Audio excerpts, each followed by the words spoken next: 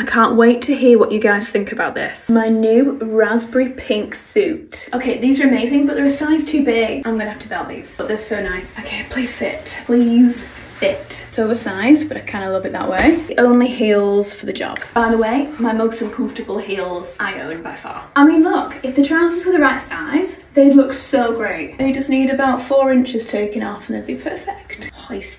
Now the blazers are small. I think maybe an extra small blazer too. Push up the sleeves. No one would know. Do we not think this is so gorgeous? Okay guys, do I keep it or do I change the size? Let me know you think.